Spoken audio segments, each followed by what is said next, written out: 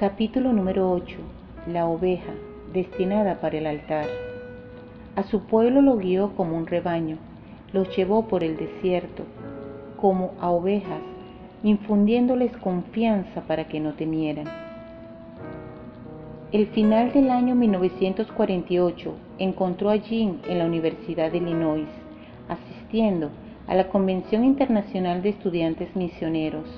En una carta dirigida a sus padres, describe sus impresiones. Ya estamos a mitad de la conferencia y tengo una mezcla de sentimientos sobre todo esto. Hasta cierto punto, había venido con la expectativa de que fuera un tiempo de profunda reflexión y quebrantamiento, que tuviera por resultado que numerosas vidas se volvieran a las cosas más reales, los tesoros invisibles. Eso es lo que le ha sucedido a mi propio corazón, porque he tenido plena certeza de la presencia del Señor en los momentos de oración y meditación al mediodía, en una silenciosa iglesia episcopal cerca de la universidad. Pero el espíritu de urgencia por hacer la voluntad de Dios aún no ha aprendido en este grupo de 1450 jóvenes. Carecemos de la intensidad de un sentimiento profundo, esa sensación de deber inevitable que Cristo poseía, porque el cielo por la casa de Dios lo consumía. Mientras observo en este cómodo salón de espera del edificio de la Unión Estudiantil, veo toda clase de personas. Dos sacerdotes anglicanos de Toronto conversan en una esquina. Un remilgado obispo manonita de corta estatura pasa caminando junto a mí. Un hispano de tez oscura lee la hoja de anuncios diarios frente a mí. Un inglés de aspecto nervioso balbucea unas rápidas frases a la manera de los londinenses a oído de un estudiante de los Estados Unidos que se encuentra a mi izquierda. Aquí hay también unas damas misioneras de cabello gris que se ven un tanto melancólicas. Algunas leen las escrituras, otros escriben o conversan felices sobre cualquier tema.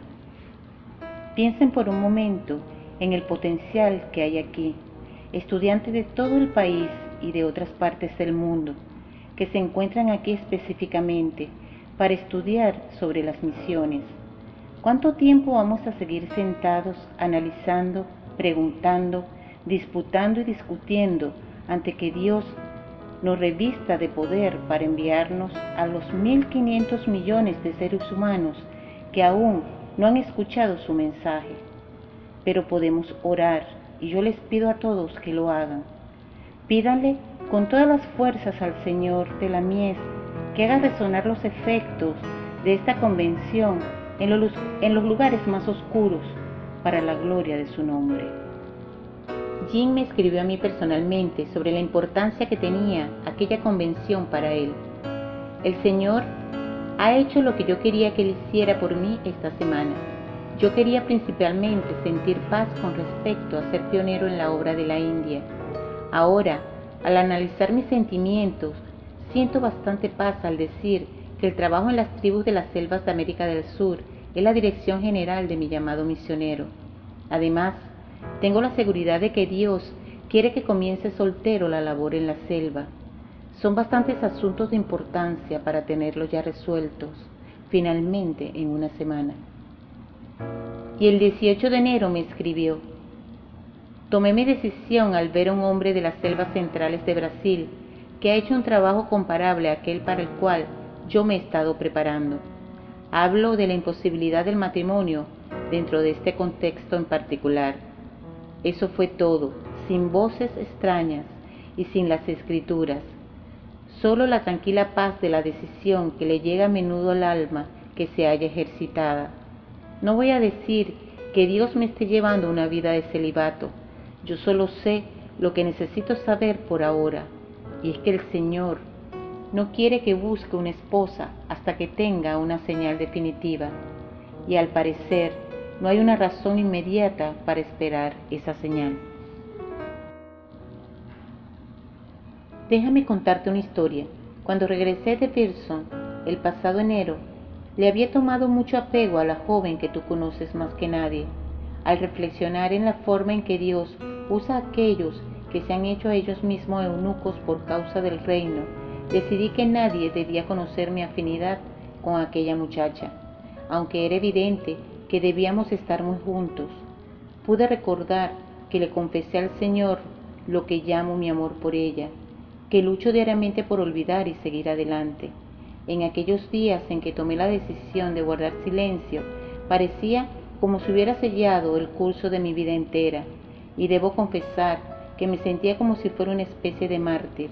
Entonces me vino a la mente esta canción 1848. ¿Por qué habría de marchitarme por el dolor? Tú estás siempre a mi lado. ¿Por qué temer al mañana? ¿Qué mal me puede acaecer?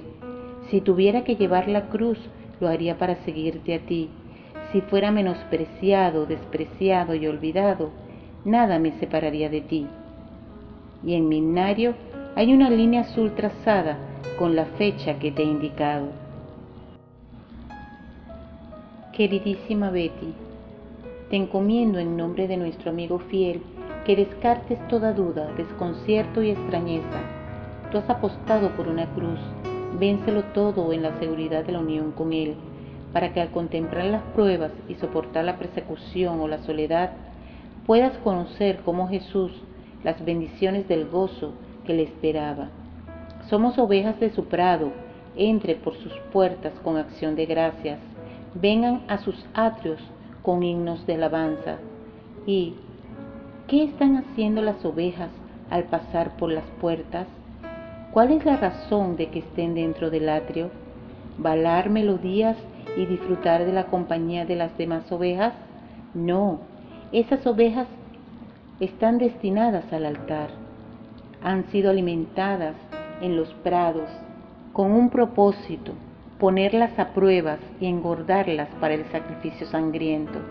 Por consiguiente, dale gracias a Él por haberte hallado digna de su altar entra en sus obras con alabanzas.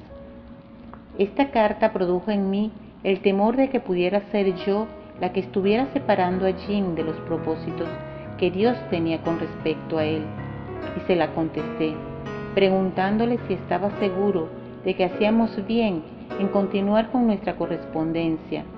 Él estaba seguro. Dios nos ha llevado a escribirnos y no tengo señal alguna de que su voluntad no sea que nos sigamos escribiendo. Si tal curso nos llevara a la larga a una renunciación más amarga de lo que podría significar la abstinencia en este momento, consideremos que el camino más amargo es el camino de Dios. Recuerda las aguas de Mara. Y él le mostró un pedazo de madera, el cual echó Moisés al agua, y al instante el agua se volvió dulce. Fue la nube la que llevó a Israel hasta las aguas de Mara.